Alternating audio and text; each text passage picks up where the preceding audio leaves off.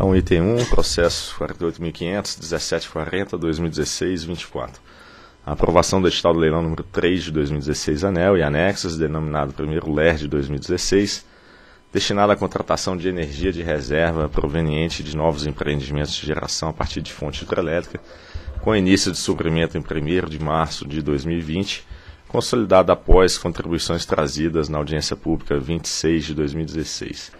Diretor relator, doutor José Jurosa.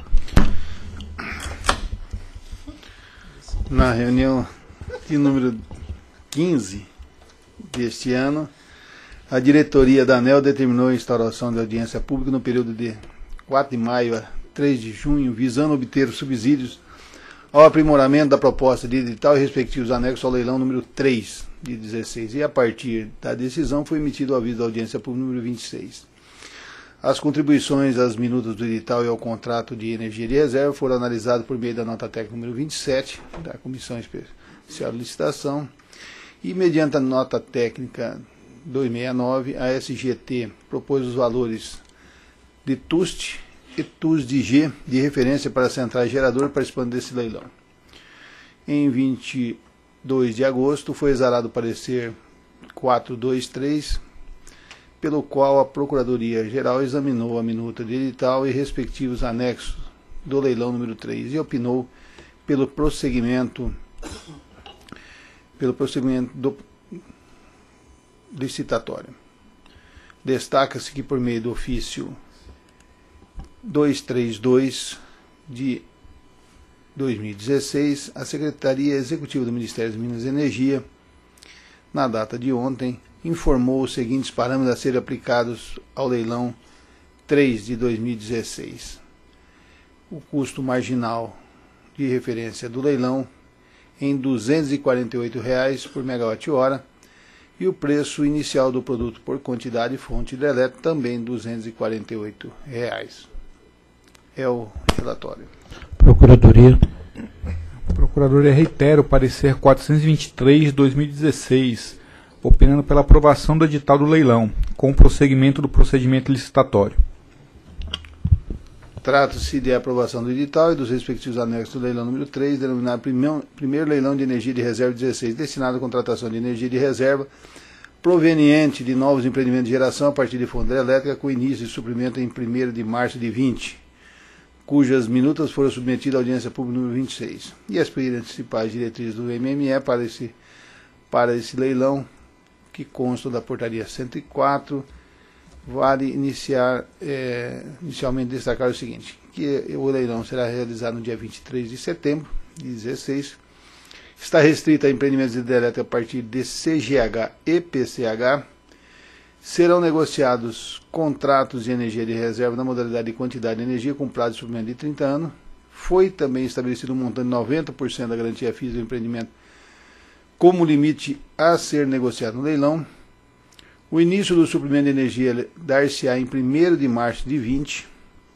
Prevê a hipótese de rescisão do SER relativo a CC, ou CGH, que venha a ser afetado por aproveitamento ótimo, em que haja comprometimento do atendimento ao lote de energia dos contratos de leilão. Estabelece também a vedação do empreendimento de aderir ao mecanismo de realocação de energia. Não se admite ampliação do empreendimento nos casos de alteração do enquadramento como PCH, quer como CGH, sob pena de rescisão do SER. Não serão habilitados tecnicamente pela EPE empreendimento CVO superior a zero, empreendimento do qual tenha sido comercializada energia em leilões de energia nova, de fontes alternativas ou de energia de reserva, e a CGH com capacidade instalada inferior a 1 MW. Também é vedada a participação de empreendimento que tenha entrado em operação comercial até a data de publicação do edital, e também que não existe garantia de recebimento de receita nos casos de indisponibilidade do sistema de transmissão e distribuição na data de início do suprimento contratual. Quanto aos empreendimentos cadastrados, a EPR registrou um cadastramento de 133 projetos para o primeiro LER, conforme discriminado no quadro abaixo, cujas fichas de dados e demais documentos serão examinados no processo de habilitação técnica que antecede a realização do leilão. Então, é, se os senhores observarem, os estados que mais, o estado que mais tem é, CGH e PCH é o estado do Paraná, com 40 na soma, e o de Santa Catarina com 40, 34. Não, não 30 no Paraná e 34 em Santa Catarina, ou seja, teremos um total de 74 PCH e 59 CGHs. Um total geral de 988 megawatts de potência instalada. E as principais audiências, eh, as principais contribuições à audiência pública foram recebidas é, pela comissão, enviadas por 14 instituições. O Instituto de Engenharia do Paraná, Furnas, CCE, Abrace, Apine, Eletro, Copel, Rincão Energia, AES, Neo Energia, Enerbran Energia, Camerge, Construnível e RAI Brasil. Do total foram encaminhadas 44 contribuições, das quais 40 referentes a editais e 4 relativas à minuta do CER. E a tabela a seguir apresenta o resultado da análise de contribuições do leilão, ou seja, um total é, de 40, 44 contribuições, 26 não foram aceitas, 3 foram aceitas parcialmente, 11 foram aceitas, duas não foram aceitas e, uma, e duas foram aceitas do CER.